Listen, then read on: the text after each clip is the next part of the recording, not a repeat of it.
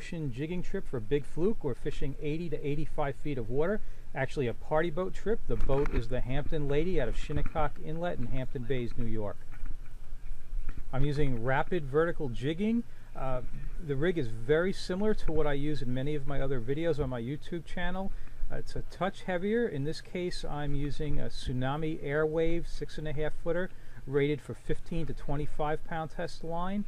Uh, the line is 20 pound test SpiderWire stealth. Normally when I'm inshore, I'm using a rod that's rated 10 to 20 pound line and I'm using 15 pound test braid. But I'm going a little bit heavier for this trip because of the depth and the need to use a heavier bucktail.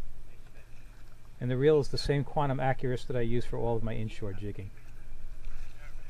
Alright, in this trip we're fishing a five fish uh, bag limit, and uh, that's my first one of the trip. So uh, four more to go here to go for a limit, and that's a, a good size fluke. It's a decent one. Uh, we're going to do better. All right, we've got relatively calm conditions here, about a five to ten knot wind, two foot seas, and it's uh, these calmish conditions that allow one to use what's relatively light tackle here, uh, going to three ounce bucktail, 20 pound braid in this kind of water, 80 to 85 feet. Uh, if the wind was blowing we had a faster drift, a lot of times out in these waters you have to uh, use heavier gear and go up six, eight, ten ounces of lead to stay down. But uh, this is a nice day, and uh, you know I can definitely use the lighter gear, which is very much to my liking because I like that fast, rapid vertical jigging. It really gets the attention of the fluke, and fluke are also called flounder in many parts of the country. So you'll see I'm pumping the rod to bring this fish up. A lot of times the, the mate will tell you, no, don't pump the rod, just real steady. But uh, this is a pretty small reel. It's actually high gear ratio, like 7 uh, to 1.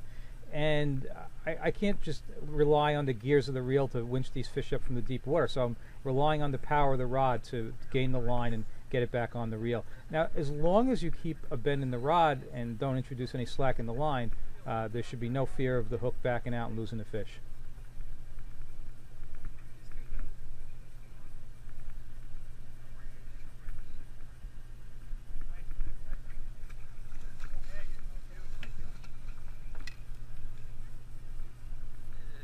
So that's a nice one. That's what we came out here for.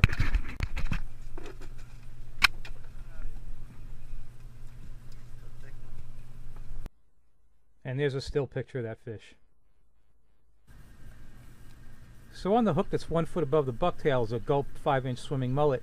But on the jig itself is a strip of meat, and it's about six to seven inches, and that can be like anything. It could be bluefish strip, sea robin, or uh, the fins on the side of a fluke when you fillet it. But the only thing is, if you do that in New York waters, if you use those fin strips from a fluke, uh, you need to keep the carcass on board in case uh, the DEC checks. Uh, they need to make sure that those strips came from a legal size fluke.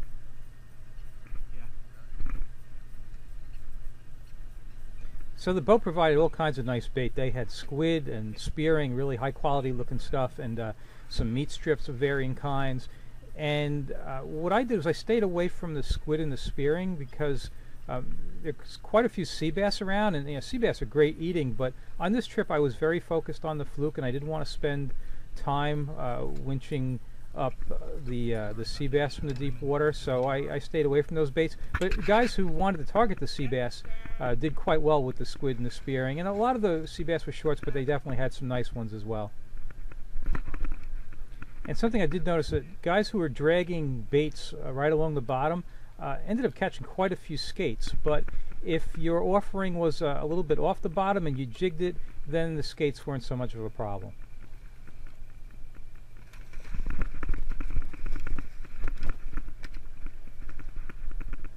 On my YouTube channel I have a separate video that shows exactly how to tie the rig that I'm using. Uh, in this case I'm using 25 pound test leader material.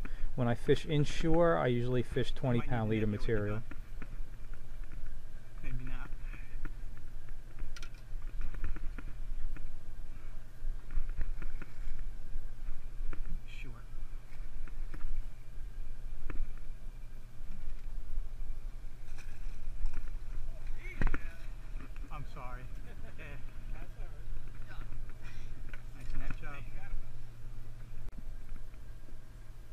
I'm dropping down to the bottom here. That's why I'm not jigging at this moment. Uh, it's a long way down.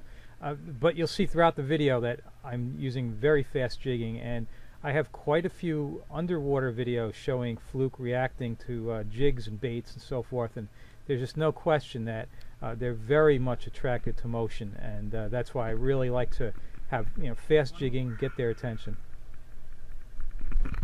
The other thing those underwater videos show is that when you miss a fish, they come back, and they come back every time. It's almost like they get annoyed that they didn't get it the first time. So I do not hesitate to set the hook. As soon as I feel weight on the end, uh, I'm going to try and drill that hook home. I do not care if I miss them. They're going to come back, and there he is. When you're ready, I'll need the net over here. All right, so the drag on the reel definitely needs to be good, especially fishing deep water, big fish, and a 20 pound braid is definitely on the light end for this. Um, on this fish, I've got a little extra complication. It's a party boat and a lot of lines in the water, and one of the lines from a few guys up has slid towards the back and hooked my line. So I'm a little concerned about the rubbing on the line, so I'm going to take it a little bit easier on this fish. line.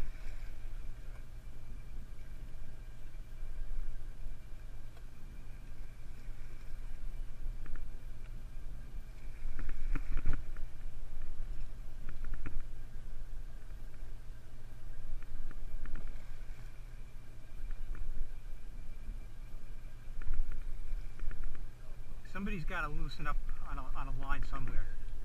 All right, just, uh.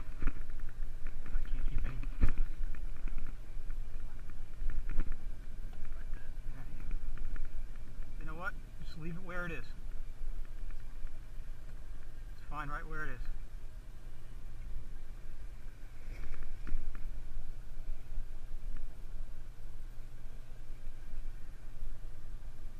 I got 20 braid here, and I'm worried about the about it rubbing on there. You know.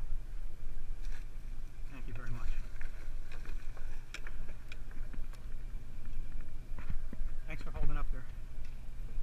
Yeah, limit by lunchtime. This is good. Okay, as I mentioned, there's a five fish limit, and uh, so that's my limit fish, and even got it before lunchtime. So uh, just just a real good trip. And uh, yeah, this is an excellent boat, the Hampton Lady, a fantastic crew, and uh, a real nice clientele, and it just made for a, a great trip, wonderful day.